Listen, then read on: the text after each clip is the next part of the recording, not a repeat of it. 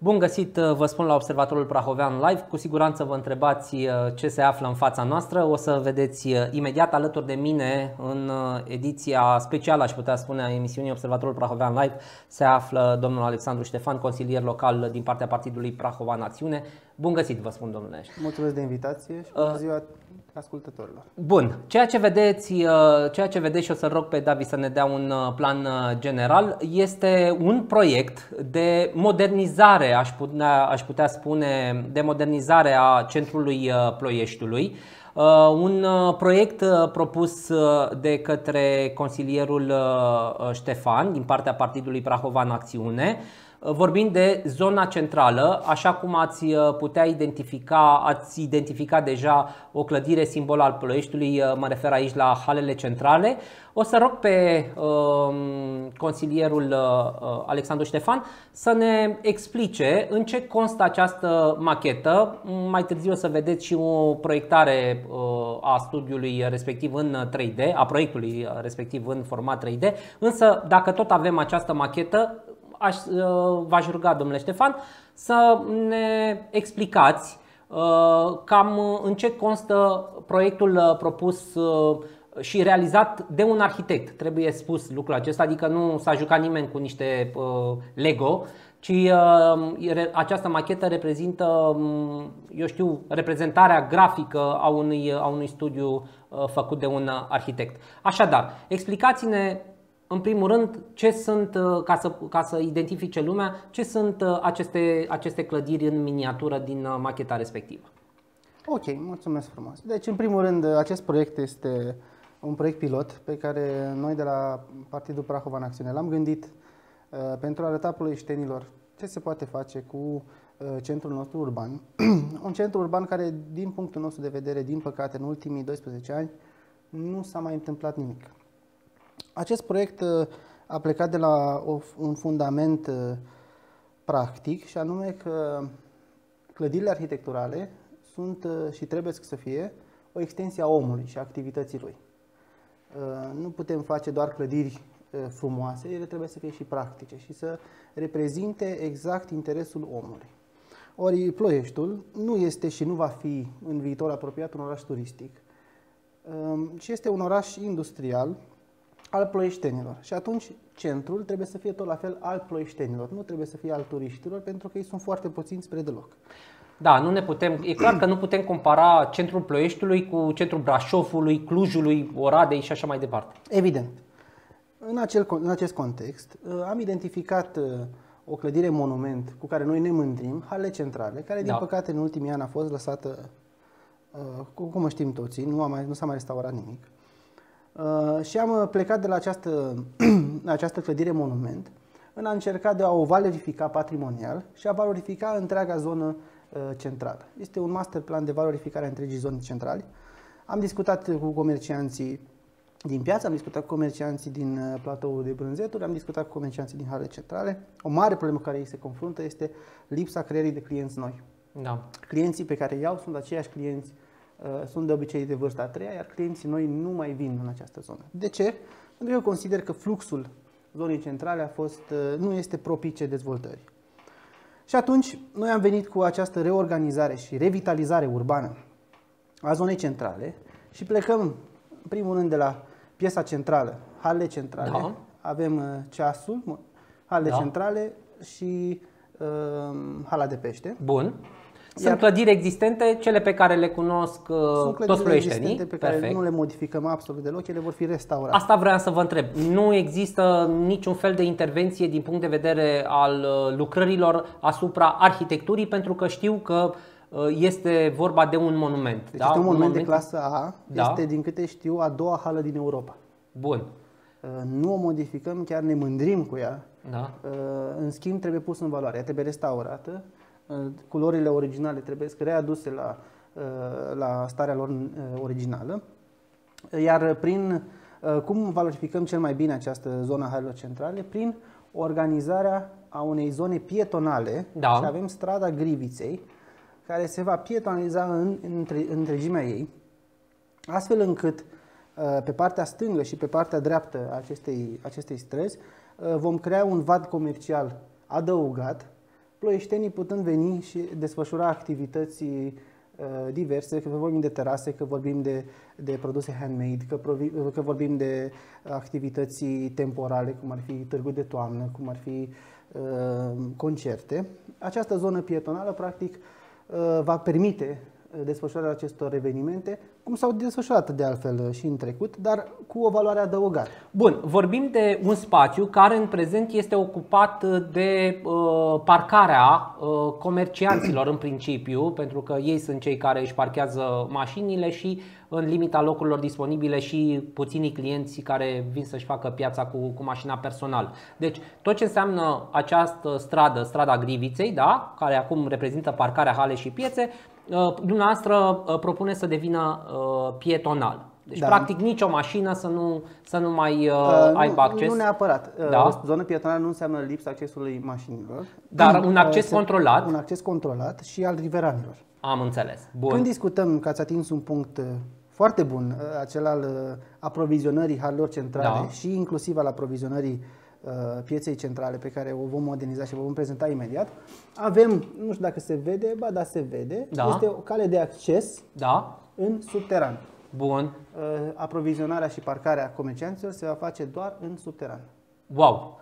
Uh, arată foarte bine, recunosc că discutam înainte de a uh, porni această emisiune că e prima dată când văd uh, o machetă cu ceea ce ar trebui să arate, să arate ploieștiul. Uh, și uh, rămâne întrebarea. Ce sunt două, două clădiri care acum nu, nu, nu există. Nu, nu există da? Corect. Vorbim de uh, această piesă. Piața centrală. Da. Uh, practic, noi vorbim ca locație, ca spațiu de actualele tarabe, platoul halelor centrale. Exact. Corect. Și aici, ce avem? O parcare supraetajată. Bun, uh, aș putea spune că, mă rog, actuala administrație s-a inspirat pentru că Eu ieri, de exemplu, a fost, lansat, a fost lansat un proiect privind construirea unei parcări supraterane în apropierea uh, halelor centrale. Mă bucură foarte mult că administrația uh, ascultă și părerile celor din opoziție. În schimb, un lucru foarte important pe care eu vreau să-l accentuez, tot acest proiect se bazează pe sustenabilitate. Sustenabilitate înseamnă interconectivitate. Toate cele patru piese, zonă pietonală, halele centrale, piața centrală și parcarea destinată clienților, da. sunt interconectate. Fără, una fără cealaltă nu vor funcționa. Degeaba faci doar o, o parcare supraetajată, ă, fără să pietonalizezi această zonă. De ce? Pentru că o să creezi aici un clinch Uh, de trafic infernal. Da. Noi avem uh, în această zonă, uh, am organizat traficul să fie cu o singură intrare și o singură ieșire, da. iar ieșirea este controlată de o trecere de pietoni, astfel încât trecerea pietonilor va, va permite trecerea, uh, ieșirea automobilelor. Ieșirea din mașină. Exact. Bun. Haideți să revenim puțin la piesa centrală, pentru că este o problemă cu care, uh, să spunem așa, clienții uh, se confruntă, nu mai spun de uh, comercianți, și anume starea de degradare a platoului halelor centrale este, aș putea spune o țigănie, dar aș jigni o anumită etnie, este o, mă rog, o, o chestiune insalubră din, din secolul trecut. Nu are nicio legătură cu ceea ce înseamnă standardele unui comerț modern. Și aici dumneavoastră propuneți o clădire nouă, din ce văd eu are un etaj. Exact. Bun. Și uh, pot, pot să... Da, pot să... Nu, haideți să vă da? ajut. Da? Vă rog. Deci avem o structură ușoară, metalică. Da. Practic, uh, cele pe care se da. dezvoltă... Nu, lăsați că mă da? descurc. Cele oh, pe okay. care se dezvoltă imobiliar uh, um, marile lanțuri da. comerciale, da. de structuri care se fac foarte repede și foarte, uh, foarte ieftin. Da. Uh, pentru că, până la urmă, trebuie să aducă profit această, Absolut. această construcție. Uh, este pe, două, este pe două nivele, avem parter și etaj. Da. La parter se păstrează activitatea care există astăzi, respectiv vânzarea de alimente, da. bazată pe tarabe. Corect. Iar la etaj am gândit Uh, o activitate destinată mai mult a, a categoriei mai tânără de vârstă, respectiv un food court și uh, comerț uh, de haine, comerț de marochinerie, uh, handmade. Mai ales pentru că în acest proiect ne-am inclus și o clădire administrativă, pe da. care o vedem aici. Este gândită și arhitectural să aducă o contrapondere piesei ceasului central, chiar dacă sunt un pic nealiniate, astfel încât ceasul să se vadă și o să vedem pe simularea 3D, da. se vede din orice punct ceasul halelor centrale. Uh, această clădire administrativă va fi ocupată de către administrația Hale și Piețe da. și inclusiv de către alte firme private care doresc să, să, să închirieze spații. Să da? închirieze și când de aia discutam și de uh, sustenabilitate, uh, oamenii uh, când au pauza de masă coboară în zona de food court. Zona de food court coboară la zona de alimente și se pot aproviziona. Corect. Bun, deci ceea ce vedem aici este un, o piață cu adevărat sau proiectarea unei piețe cu adevărat moderne în sensul în care, indiferent de condițiile meteo, da, că e vară și e căldură, că e iarnă și e frig, în uh, zona comercială, acolo unde acum avem tarabele expuse în aer, uh, în aer liber uh, și, mă rog, protejate cu tot felul de improvizații, un chici și o, o mizerie, ceea ce e acum la halele centrale, pe platoul halelor centrale, da? Um, uh, atât comercianții cât și clienții vor avea parte de niște condiții civilizate. Unii de a vinde, alții de a cumpăra. Exact. Uh, profesia mea de bază este aceea de medic veterinar și ați adus, uh, ați adus în discuție un lucru foarte important, siguranța alimentară, cu care nu ne jucăm. Siguranța alimentară nu ne jucăm, un lucru pe care oamenii știu poate mai puțin, să știți că legumele au o dezvoltare bacteriană mult mai periculoasă decât uh, carnea și ouăle. Da. Uh, și... Apropo de ceea ce se întâmplă vara, de exemplu, când sunt expuse avem, la niște temperaturi avem foarte mari. temperaturi foarte mari. De asemenea, un proiect de, asemenea, de o asemenea învergură uh, face și economisirea uh, căldurii. Pentru că avem o izolare termică propice și uh, acest acoperiș pe care L-am dat jos. Da. Haideți să-l punem. Uh, ca... Haideți să încercăm să-l punem la loc. Da. Uh, are dublă funcționalitate. El a fost uh, gândit, cred că reușit. Da, reușit. e ok. El a fost gândit, în primul rând, să aducă o contrapondere simetrică. Uh, nu se vede bine, dar uh, halele centrale au o, o simetrie. Da. Acoperișul are o anumită simetrie. Avem o contrasimetrie și pe acoperișul pieței centrale. 1 uh, și 2 Eh, se, eh, se potrivește foarte, foarte bine pentru dezvoltarea panourilor fotovoltaice. De, um, da, sunt și, se și vede, ca să spunem așa, uh, ceea ce înseamnă apropo de, de geometria uh, clădirii. Exact. Ce vreau să vă întreb uh, și David, dacă poți să dai drumul la, la imagini, atât la film, filmulețul în format 3D, cât și la fotografiile care, mă rog, arată exact uh, cum ar trebui să, să fie acest uh, proiect. Da. Iată. Deci intrăm aici, intrăm pe strada Griviței. Vă rog. Uh, este pietonalizată, dar vedeți, se permite accesul contat al mașinilor. Da. Pietonalizarea înseamnă piatră cubică și aducerea la același nivel. Deci nu avem trotuar.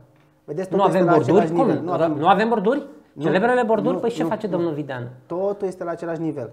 Astfel încât, vedeți, efectiv zona respiră. Da. Halele centrale rămân identice, intrăm la zona, uh, hala de pește, care rămâne la fel identică și avem același regim de înălțime, vedeți o continuitate pur, pură cu clădirea nouă. Avem o zonă, uh, apropo, aceasta, aceasta este desfințată, vedeți, și este o zonă pietonală între hale și, da. uh, și uh, Bun, piață. Iar aceasta este clădirea nouă care ar, ar trebui, da, care ar trebui ridicată pe actualul amplasament al platoului halelor centrale, exact. acolo unde sunt arabele. Stânga acum. vedem uh, parcarea supraetajată. Da care eu zic că se încadrează un pic altfel față de cea propusă de primărie și atenție la parterul acelei parcări avem o, o zonă de comerț, avem uh, vitrine pentru comerț. Uh, structura ușoară și etajul. Uh, a, foarte important, integrarea uh, stației de tramvai în cadrul pieței. Oamenii coboară din tramvai direct în piață. Nu știu, mie mi se pare că arată foarte bine, arată occidental aș putea spune, adică sunt, e, e un proiect, cine l-a făcut, apropo?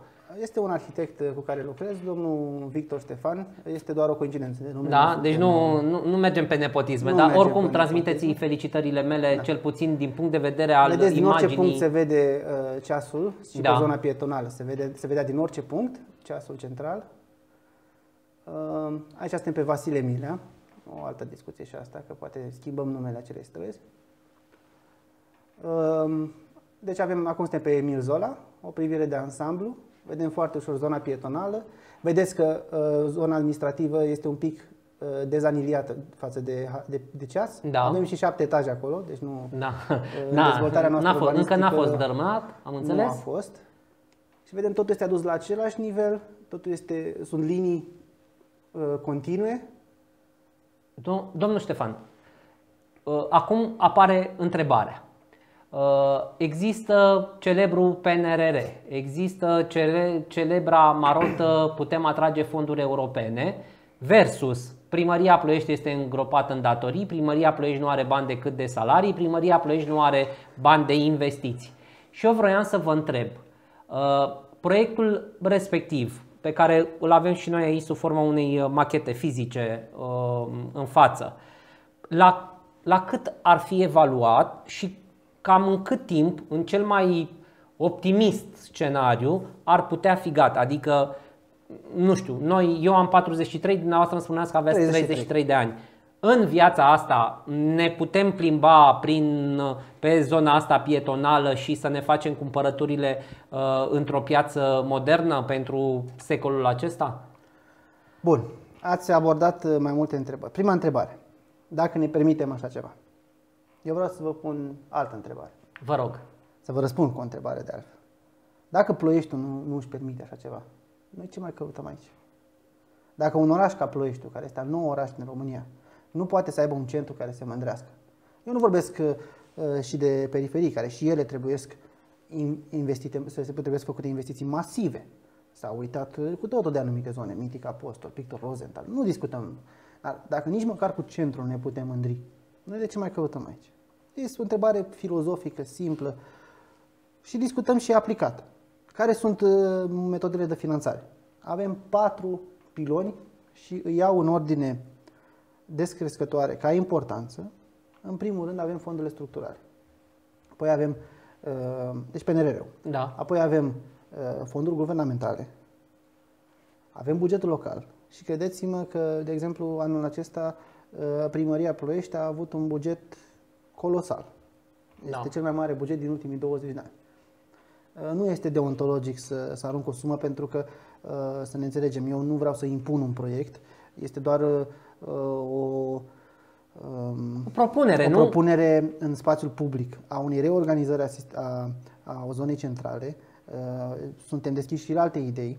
De, de altfel, o asemenea structură, se face asemenea investiție, va face pe baza unui studiu de fezabilitate, pe care eu nu vreau să-l uh, influențez aruncând sume dinainte. Evident că Da. știu suma care va exista aici și nu ar impacta atât de mult uh, bugetul local dacă avem o direcție te- tehnică și o direcție de economică uh, care ar putea să asigure o negociere concretă și coerentă cu o bancă pentru un credit pe 10-15 ani. Ar fi, o, deși doar bugetul local, ar fi Ar fi suportată Ar fi suportată. investiția inclusiv din bugetul local, inclusiv, da? dacă e nevoie, dar luat în, în ordine descrescătoare. Da, da. Iar ultima, un parteneriat public-privat. Practic, nu știu, așa cum s-au construit uh, molurile, nu? Așa cum s-a construit stadion. Sau cum s-a construit stadion. Da. Sau cum s-au construit uh, morurile. Da. Da. Morurile sunt în parteneriat public-privat. Nu este de dorit acest lucru, ar fi ultima variantă, Da. dar există și această variantă.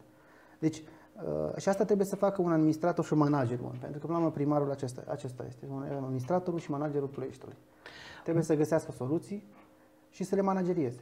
Dumneavoastră reprezentați uh, un partid care în Consiliul Local are două voturi, nu? Doi consilieri locali. Doi exact. consili... Dumneavoastră și, uh, un, colegul alt, meu, Cristian. un alt coleg, da, bun. E clar că neavând uh, majoritatea, neavând uh, un viceprimar sau mm, neavând pârghiile, să spunem, uh, mari uh, ca să puteți influența decizia actualei uh, administrații, vă gândiți să faceți un demers public, inclusiv o consultare a ploieștenilor, o strângere de semnături, o campanie prin care să veniți cu uh, această propunere în fața, în fața lor? Bun.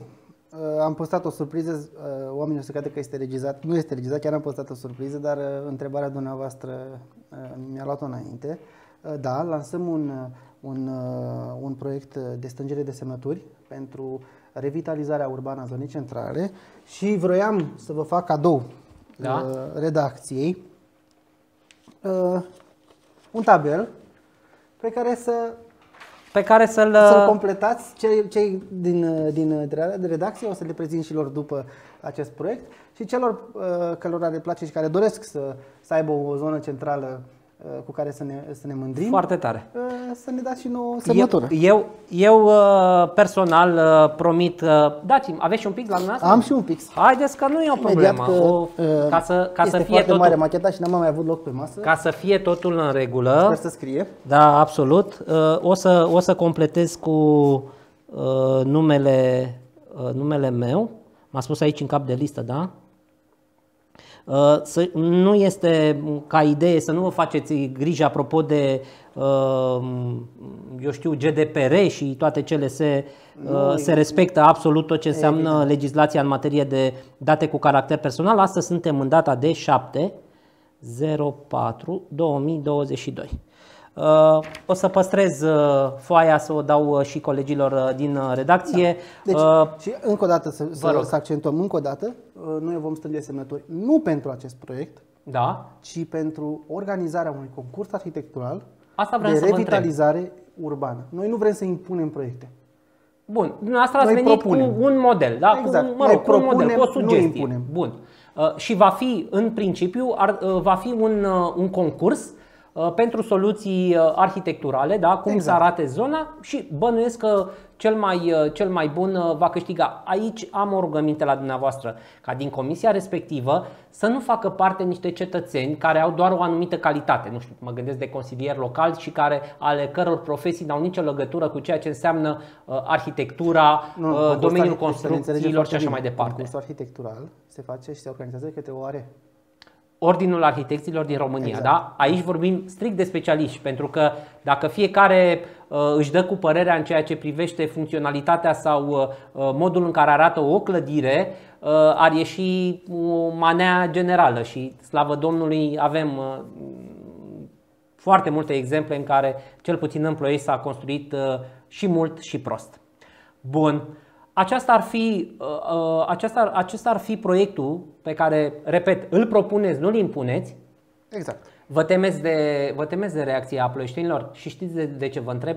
Pentru că odată la patru ani um, există cel puțin un proiect, fie că vorbim de zona centrală, fie că vorbim de o parcare, fie că vorbim de un cartier, fie că vorbim de, nu știu, un spital. Un spital. Nu, nu mai pronunț cuvântul acesta. Așa. Mie mi se pare o, o, o chestiune uh, să avem uh, două spitale, acum nu un spital.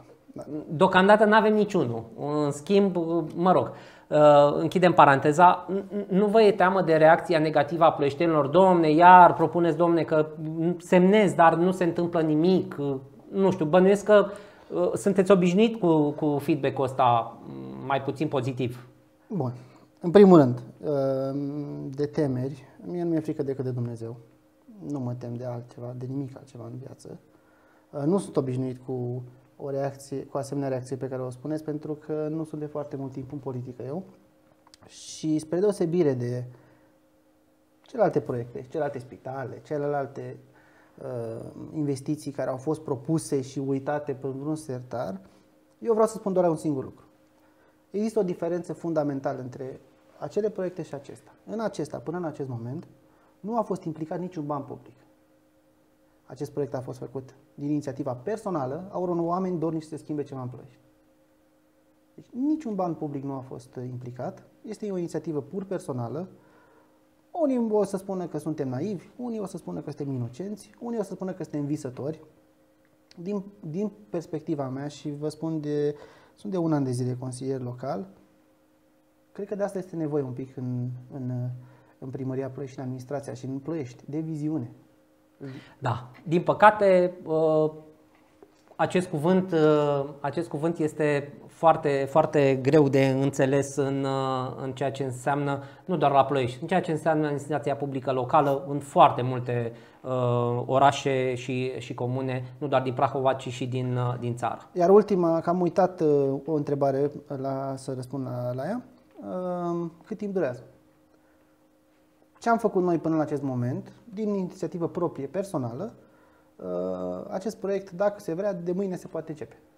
Deci este gata cu devize, cu tot. Avem uh, detalii tehnice, avem, putem pune totul la dispoziție. Vorbim totuși de o lucrare efectuată de un arhitect, exact. da? Bun. Nu, nu mai mulți, dar uh, Bun. coordonate. De Coordonat de, un, uh, de Așa. acel arhitect? În acest context, o, o, deci de la momentul construirii, nu discutăm de părțile birocratice pe care nu le putem controla. Absolut. O asemenea um, construcție ar dura între 2 și 3 ani, dar atenție, marea majoritate a timpului va fi uh, petrecută pe restaurarea uh, halelor centrale, care o să fie o, treabă foarte miguloasă și foarte grea, pentru că este un monument care trebuie adus doar la starea inițială. Când discutăm de gros de piața centrală, da. șase luni de zile. Și parcarea supraterană, care bănuiesc că, la fel fiind o construcție care nu parcarea are foarte multe... Parcarea se face după uh, ce avem în toată zona. Am Pentru înțeles. că noi trebuie să mutăm acești comercianți, care da. există în acest moment, fie vor fi relocați la, zon, la parter cei care se, se deci parcarea ar fi ultimul obiectiv. Ultimul uh, obiectiv, în, nu uh, primul, da. ultimul obiectiv. Am înțeles, înțeleg, am înțeles aluzia dumneavoastră. Bun, uh, avem și în imaginile din modelul 3D și pe această machetă avem așadar, ați atins o problemă și trecem la subiectul al doilea al, al emisiunii, problema locurilor de parcare care în Ploiești, mm, și nu vorbesc aici doar de zona centrală, odată cu uh, amenajarea, construirea, uh, dezvoltarea asta uh, urbană, au apărut tot felul de cartiere, le putem spune noi, ale Ploieștiului, acolo unde um, dezvoltatorii respectivi au respectat și nu prea condițiile impuse de legislația în materie de, de construcții, ansambluri rezidențiale mai ales dacă vorbim de, de blocuri cu multe etaje, uh, acel criteriu de asigurare a locurilor de parcare pentru locatari și vizitatori. Acum, în Ploiești, este aproape imposibil ca la o oră decentă să-ți găsești un loc de parcare. Uh, nu vorbim aici de persoanele care își lasă mașina doar ca să fie aproape de șaorma sau să își plătească la bancă rata um, încurcând traficul, deși există acea uh, parcare la Cuza, de pe uh, Alexandru Ioan Cuza, de pe strada Cuza Vodă, unde um, stă mai mult goală, ca să spunem așa. Nu vorbim de astfel de, de șoferi, da? vorbim totuși de zonele aglomerate unde, efectiv, cetățenii nu-și, nu-și pot parca în mod legal mașina. Cu cât mergem în cartiere, problema devine mai acută, pentru că fiecare familie are acum cel puțin o mașină, în multe situații sunt două mașini de familie plus una de serviciu, deci deja lucrurile se complică și atunci când uh, oamenii vin acasă de la serviciu, le este aproape imposibil să-și găsească un loc de parcare, cât mai apropiat de, de blocul în care locuiesc. Cum vedeți dumneavoastră uh, uh, problema asta? Bun. Primul lucru a spus că dezvoltatorii imobiliari nu respectă condițiile. Care condiții? Avem un regulament de urbanism care să impună aceste condiții? Corect. Ele se bazează pe codul civil, care este făcut pentru toată lumea, nu și pentru eh, cel de la, din spațiul rural și pentru cel din spațiul urban. De principiu există o cotă de 1,5 la puzurile. Deci ca să înțeleagă oamenii, la un apartament trebuie să asigure 1,5 locuri de parcare. Deci Conform avem... codului civil, nu unui regulament pe care noi nu-l avem. Păi nu-l avem. Un regulament de dezvoltare urba... un regulament de urbanism și de dezvoltare urbanistică. Nu-l avem. Uh, deci ca să înțeleagă oamenii, la un apartament 1,5 locuri de parcare. Da. 10 apartamente înseamnă 15 locuri de parcare. Da. Bun. Asta e numărul 1. Numărul 2. Când discutăm de parcări, sunt două tipuri de parcări. Avem parcările rezidențiale și parcările de tranzit. Da? Ce, ce înseamnă asta? Parcările de tranzit, zonele centrale. Ai venit, cum este aceasta, o parcare de tranzit. Ai venit, ai cumpărat, ai plecat. Nu o lași uh, toată ziua exact. în zona centrală. Cum reglementăm acest lucru? Prin tarifare diferențiată temporală. Deci cum este și în București, cum sunt și în alte orașe, nu trebuie să inventăm noi roata. Primele două ore un tarif modic, după două ore un tarif mai ridicat astfel încât cetățeanul respectiv să nu fie tentat să, să ocupe un loc de parcare cu da. orele. Iar problema masivă pe care noi avem în Ploiești este cu parcările rezidențiale. Pentru că Ploieștiul s-a dezvoltat urbanistic pe o anumită sintagmă, într-un anumit timp, anii 70 și chiar mai devreme, în care numărul de mașini era limitat și felul de mașini era da. limitat. Că în afară de Daci nu prea aveam, n-am prea prins eu vremurile alea, dar să cam aștepta pentru o mașină, între 5 și 6 ani, câte da. știu. E, față de atunci, astăzi numărul de mașini a explodat.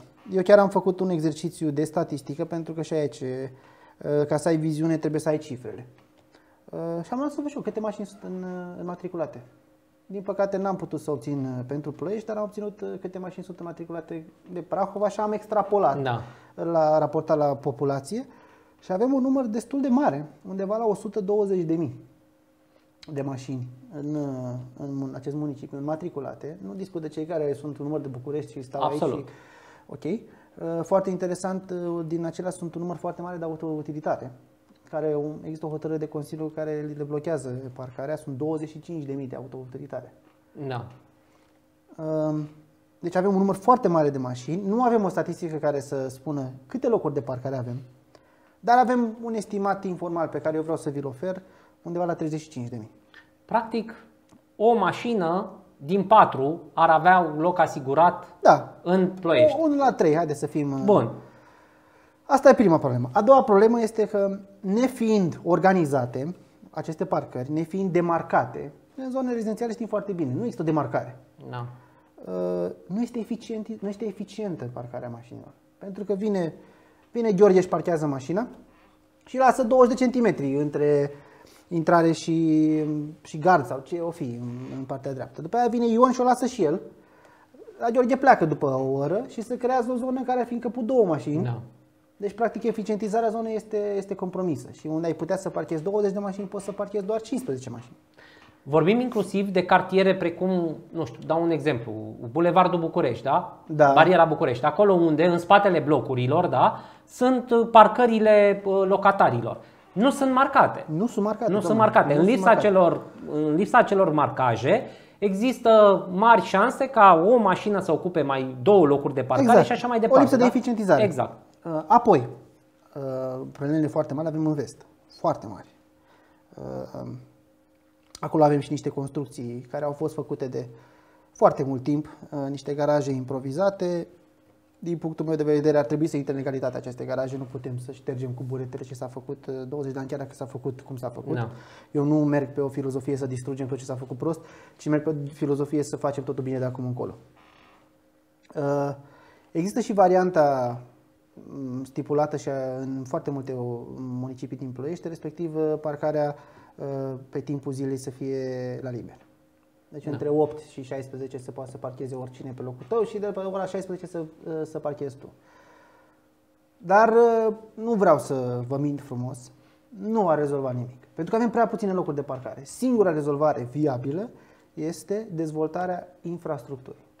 Mult mai multe parcări supraetajate sau subetajate, pentru că terenul pe care îl avem este limitat, identificarea acestor zone, dar atenție, nu parcări comerciale de tranzit, și parcări rezidențiale.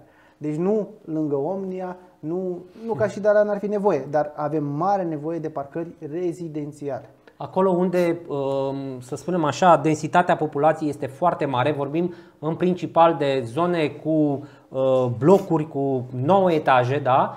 Uh, și uh, um, acolo unde situația actuală este cu adevărat complicată, în sensul în care E clar că pe niște locuri de parcare uh, construite de comuniști în anii 70-80 uh, nu vor încăpea niciodată toate mașinile din anul 2022. Evident. Este clar, orice act normativ, orice hârtie nu va schimba această situație reală. Noi nu putem să ne mințim cu hârtii. Asta este situația. Sunt mai multe mașini decât locuri de parcare. Nu există altă variantă decât să creăm mai multe locuri de parcare sau să diminuăm numărul de mașini. Acum, din punctul meu de vedere al proiectului, cred că e mai bine să numărim, mărim numărul de parcări nu să diminuăm numărul Absolut. de mașini. Dar există și zone, și dau un exemplu, Singapore.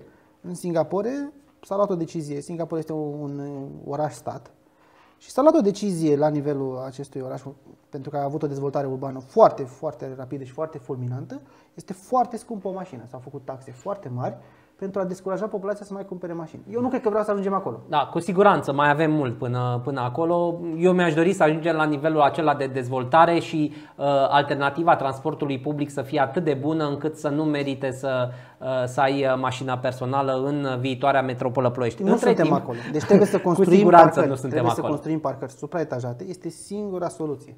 Nu putem reorganiza parcările. Oricum le-ai reorganizat, sunt mai puține decât ar trebui. Corect. Bun, uh, atingem uh, și ultima temă, pentru că ușor, ușor ne apropiem de uh, finalul emisiunii. Um, ultima temă care are legătură cu ce spuneați dumneavoastră, acea lipsa unui regulament de dezvoltare pe care ar trebui să-l aibă orice urbanism al oricărei primării de pe planeta Pământ.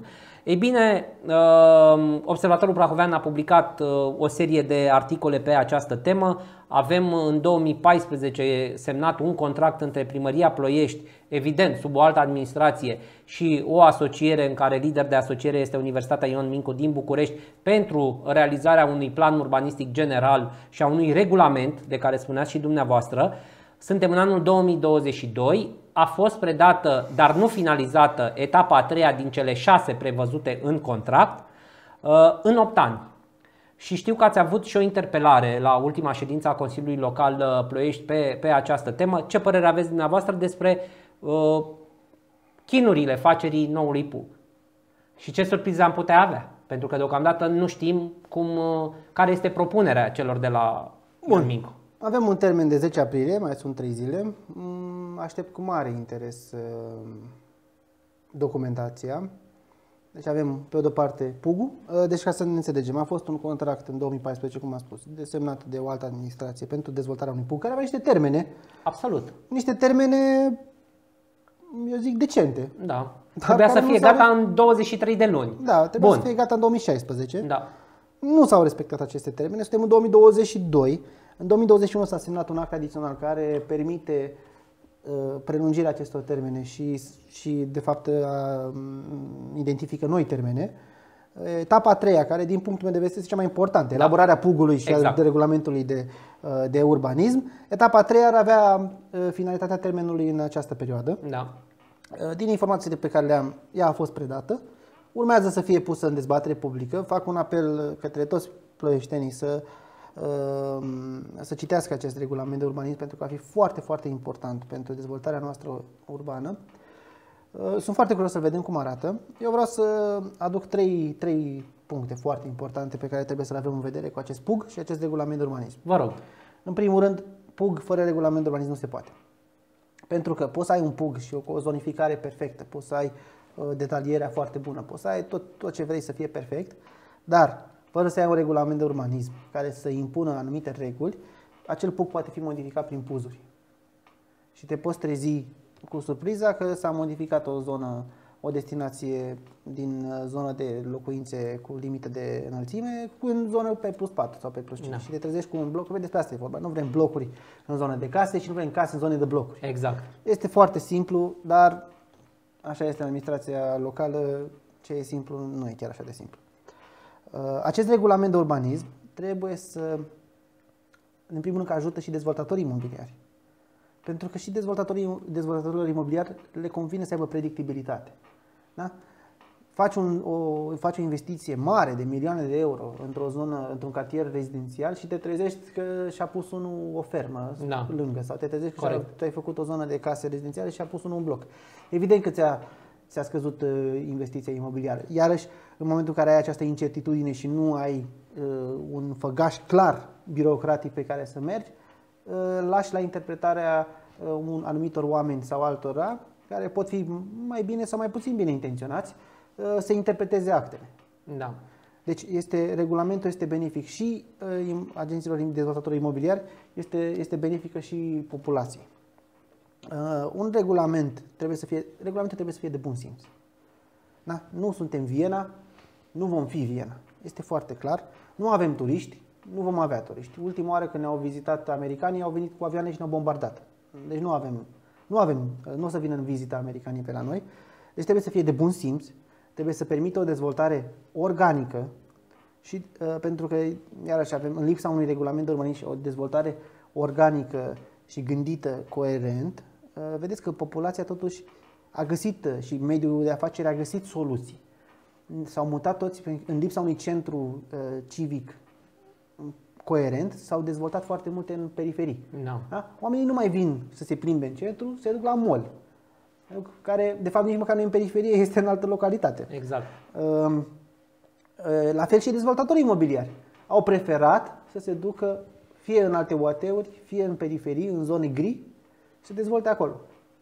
Deci un regulament de urbanism și uh, este foarte important, va intra în această dezbatere publică, uh, o să fac tot posibilul ca în calitatea pe care o am de consilier local să avem o transparență decizională pe acest, uh, pe acest PUG și pe acest regulament de urbanism, să existe o dezbatere, să, fie dezbită, să existe o dezbatere aplicată și să fim mulțumiți atât noi ca societate civilă, cât și uh, uh, oamenii din uh, zona tehnică, arhitecții și urbaniștii, cât și dezvoltatorii imobiliari. Absolut.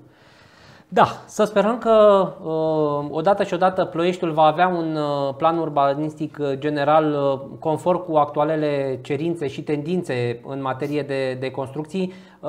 Acum Ploieștiul funcționează, urbanismul primăriei Ploiești funcționează după un plan urbanistic general din 1999. Exact și chiar invit cei care se uită la noi să intre pe primăria Ploiești, chiar este foarte aproape, pe primăria Ploiești PUG, Planul Urbanistic General, să, să-l vadă. Să vadă situația, cum arată un PUG din 1999 și în paralel, nu știu, să pună Google Maps. Da. Și să le pună așa, una lângă alta și să înțeleagă de ce dezvoltarea imobiliară s-a făcut așa de haotic. Bun, și uh, sperăm ca prin noul PUG uh, și vom face tot ce ține de noi uh, să se întâmple asta, în, să nu mai apară situații de genul într-o zonă de case, să apară blocuri și uh, invers, deși invers e mai greu, în general uh, s-a întâmplat doar într-o, într-o singură direcție. Domnule Ștefan, vă mulțumesc pentru participarea în emisiune, uh, succes în continuare, cu dumneavoastră mă revăd uh, săptămâna viitoare, până atunci rămâne sănătoși.